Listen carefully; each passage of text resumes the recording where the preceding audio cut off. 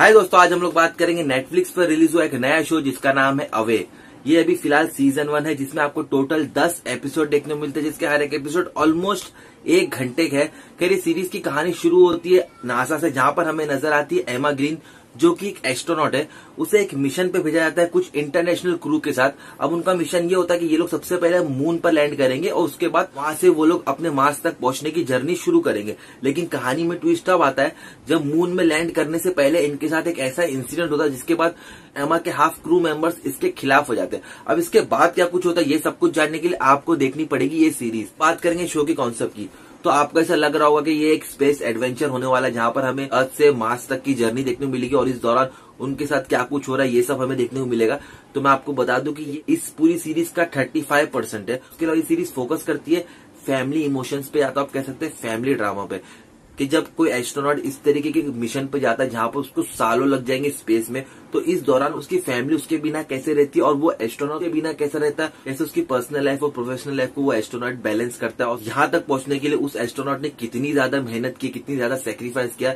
Basically इन सारी चीज़ों पर ये पूरा शो फोकस करता है। लेकिन सुनने में ये कहानी बहुत ज़्यादा अच्छी लग रही होगी, लेकिन जब आप इस सीरीज़ को देखने बैठोगे तो इसका एग्जीक्यूशन उतना ही ज़्यादा पुअर है। क्योंकि यहाँ पर डायरेक्टर और राइटर ने सोचा कि बहुत सारी चीज़ों को हम लोग एक साथ बता देंगे तो ऑडियंस को मज़ा आएगा। लेकिन वही मज़ा सजा में बन जाता है। और मैंने इस शो के सिर्फ़ आठ ही एपिसोड्स देखे हैं, क्योंकि इसके आगे का मुझे हिम्मत नहीं हो रही थी। अब आप लोग सोच रहे होंगे, भाई, इस सीरीज़ को लेकर इतना ज़्यादा हार्श क्यों तो वो ये है कि भले राइटर ने कुछ अलग सोच के इस सीरीज़ को लिखा है, लेकिन ऐसा तो लिखता है कि ऑडियंस इस सीरीज़ को कंटिन्यू देख सके। और स्पेस एडवेंचर तो छोड़ ही दो यार, क्योंकि वहाँ पर तो हमें कुछ भी ट्विस्ट एंड टर्न्स और कुछ भी ऐसी चीज़ देखने को नहीं मिलती जो आप लोग देख के, वाह ऐसा कुछ बोल ही नहीं सकते।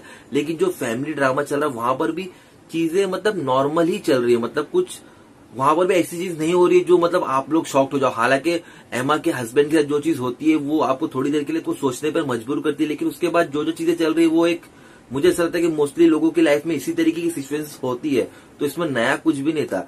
लेकिन हाँ यहाँ पर एक चीज़ राइटर ने अलग करने की कोशिश की कि एक अलग वे में हमें एक स्पेस एडवेंचर बताया, जहाँ पर उन एस्ट्रोनॉट की पर्सनल लाइफ के बारे में बताया, जो अपनी फैमिली से काफ़ी सालों तक दूर रहते हैं। तो वो चीज़ मैं मानता हूँ, और वहाँ पे ये सीरीज़ अच्छी भी लगती है। यहाँ पर जितने भी फैमिली इमोशनल ड्रामा बताया, पर आप कहीं ना कहीं सीरीज़ से कनेक्ट होते हो, लेकिन कोई भी चीज़ एक लिमिट तक अच्छी लगती है। अगर वो ओवर दी टॉप हो जाए तो वो आपको हजम होती नहीं है। और वैसे कुछ इस सीरीज़ में भी होता है। उसके अलावा बात करें कैरेक्टर्स की तो यहाँ पर एमा के कैरेक्टर को बहुत ही अच्छी तरह से डेवलप किया है। उसके बारे में हमें काफ़ी कुछ डिटेल्स बताई है सीरीज़ में। लेकिन उसके अलावा जो दूसरे कैरेक्टर है, चाहे वो इंटरनेशनल क्रू मेंबर्स हो उनको नाम के लिए रखा गया। हालाँकि उनके बारे में थोड़ा बहुत बताया लेकिन इतना भी डिटेल में नहीं बताया जितना हम लोग को जानना चाहिए। और उसके अलावा एमा के अलावा जो दूसरे कैरेक्टर्स है, उनके बारे में भी सीरीज़ ज़्यादा डिटेल में फोकस करती है नहीं। तो इस वजह से कैरेक्टर डेवलपमेंट मैं बोलूँगा, इस सीरीज़ का ओके है, ज़्यादा बेस्ट नहीं है। अब बात करेंगे सिनेमाटोग्राफी की। तो अगर कोई सीरीज़ आप नेटफ्लिक्स पे देख रहे हो तो यार एक चीज़ की तो गारंटी कि उसके सिनेमाटोग्राफी टॉप नॉच की होती है और इस शो की भी बहुत ज़बरदस्त है। और हाँ वीएफएक्स की बात करूँगा तो वीएफएक्स मुझे अच्छे लगे, लेकिन अगर आप स्पेस की बहुत सारी मूवीज़ ऑलरेडी देख चुके हो, जैसे ग्रेविटी या द मार्शियन देख चुके हो तो ये सीरीज़ इतना ज़्यादा इम्पैक्ट आपको नहीं फील कराती है। इतने स्पेस के अच्छे व्यूज़ देखने को मिलते हैं। हालाँकि जिस तरीके से उन्होंने मून बताया है, वहाँ पर चीज़ें काफ़ी कुछ मुझे अच्छी लग रही थी, लेकिन फिर भी कुछ मिसिंग लग रहा था। अगर शो के बीजेम की बात करेंगे तो मुझे ओके लगा।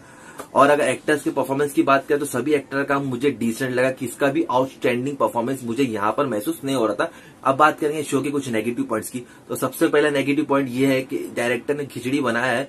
वो खिचड़ी पकी लेकिन इतनी ज़्यादा पक गई कि वो खाने का मज़ा बिल्कुल खत्म हो गया। उसके अलावा शो के जो एपिसोड्स की लेंथ है, वो ज़रूरत से ज़्यादा है। मेरे हिसाब से सिर्फ़ 40 मिनट के अगर आठ एपिसोड होते फिर भी ये सीरीज़ अच्छी होती। मैं इस सीरीज़ को रेटिंग दूँगा 1.5 आउट ऑफ़ 5 मेरे हिसाब से तो ये एक स्लो बर्न है जो आपको नहीं देखना चाहिए। लेकिन ये सिर्फ़ मेरा पर्सनल ओपिनियन अब बात करेंगे पेरेंटल गाइडेंस की तो यहाँ पर आपको फ़र्स्ट एपिसोड में एक एडल्ट सीन देखने को मिलता है, जिसको आप लोग फास्ट फॉरवर्ड करके देख सकते हो। उसके अलावा ऐसी कोई भी सीन्स है नहीं, जिसकी वजह से आप फैमिली के साथ नहीं देख सकते। मेरे हिसाब से तो ये वर्थ वॉच नहीं है, लेकिन अगर आप लोग चाहते हो तो नेटफ्लिक्स पे अवेलेबल है। हिंदी और इंग्लिश दोनों ही लैंग्वेज में है। बिंदास देखना, और अगर आपने ऑलरेडी देख चुके तो आपका ओपिनियन ज़रूर शेयर करना। तो यार, मैं मिलूँगा नेक्स्ट वीडियो में। दिल वीडियो अच्छा लगा तो लाइक करना नहीं अच्छा लगा तो डिसलाइक करना। और आपकी क्या राय है मेरे चैनल को लेकर, उसके बारे में भी आप मुझे ज़रूर बताना। तो मिलते हैं नेक्स्ट वीडियो में दिल देन